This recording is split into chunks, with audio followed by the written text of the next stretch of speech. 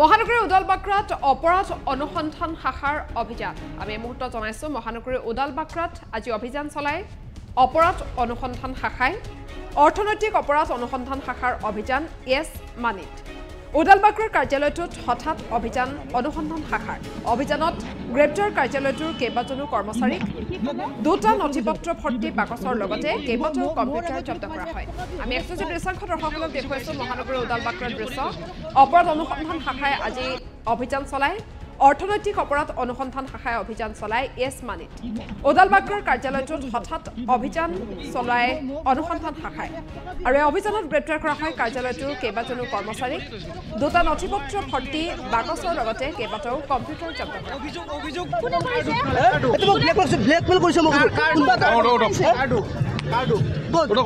বিভিন্ন সংগঠনৰ মানুহে মোক হেৰি কৰি আছে। ব্লেকমেইল কৰিছে সিহঁতে। মোৰ- আগত কোনোবাই এক টকা দিয়ে পায় অভিযোগ আহিছে যে আপোনালোকে ভিডিঅ' কৰি থৈছে ভুৱা ভুৱা একাউণ্ট খুলি এনেকুৱা ধৰণৰ কাম কৰিছে। অভিযোগ অভিযোগ।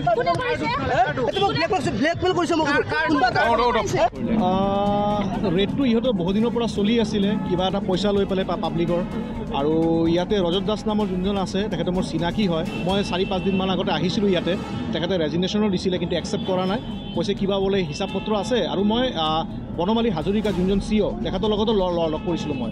তেখেতে ক'লে যে নাই মই চামালি ল'ম যিখিনি প্ৰব্লেম আছে চামালি ল'ম। মই ক'লো ষ্টাফকেইটাতো প্ৰব্লেমত নিদিব যিখিনি প্ৰব্লেম আছে আপোনাৰ নিজে চৰ্ট কৰক। ষ্টাফকতো প্ৰব্লেম পেলাব নালাগে। তেখেতে কৈছে নাই এইবিলাকতো হৈ থাকে এইবিলাক সৰু সুৰা মেটাৰ চবতে চলি থাকে। সেইখিনিয়ে আৰু। হয় হয় হয় হয়। এৰেষ্ট ডেফিনেটলি কিবা আছে চাগে এভিডেঞ্চ কিবা প্ৰুফ আছে চাগে হেৰি এইটো কাৰণে কৈ- কৈ- কৈছে। ৰিজাইন দিব লগা তেখেতে গম পাইছিলে যে ভিতৰত কিবা এটা আছে গাফিলতি কিবা এটা আছে। বা পাব্লিকৰ পইচা লৈ পেলাই কিবা এটা গাফিলতি কৰিছিলে গম পায় তাহাঁতে। তেখেতে এজ এ একাউণ্টেণ্ট হিচাপে কাম কৰিছিলে ইয়াতে। ৰেজিষ্ট্ৰেশ্যন দিয়া আজি বাৰ দিনমান হ'ল আৰু মই নিজে আহিছিলোঁ ইয়াতে। কথা পাতিব না তেখেতে ছেপ্টেম্বৰ মাহত জইন কৰি কৰি- কৰিছিলে। ছেপ্টেম্বৰ মাহত জইন কৰোঁতে তেখেতৰ মোৰ হিচাপতে কৈছে কিবা ফ'ৰ টু ফাইভ লেক্সৰ কিবা খেলি মেলি হ'ব লাগে। তো মই নিজে পাৰ্চনেলি আহিছিলোঁ চিঅ'ৰ লগত লগো কৰিলোঁ। তো তেখেতে ইমান গুৰুত্ব দিয়া নাই। তেখেতে ক'লে যি আছে এইটো আমি চামাৰি ল'ম এডভকেটৰ দৰকাৰ নাই ইয়াত। এইখিনিয়ে ক'লে। অঁ তেখেতে সোমাই তেখেতে যিটো একাউণ্টেণ্ট হওক সোমোৱাৰ পিছতে গম পাইছিলে তাৰপিছত ৰেজিগনেশ্যন দিলে। কিন্তু ৰেজিগনেশ্যনটো একচেপ্ট কৰিও তেখেতে ৰিলিজ দিয়া নাই তেখেতক। হয় বনমালী হাজৰিকা ৰিলিজ দিয়া নাই তেখেতক। মই নিজে পাৰ্চনেলি আহিছিলোঁ।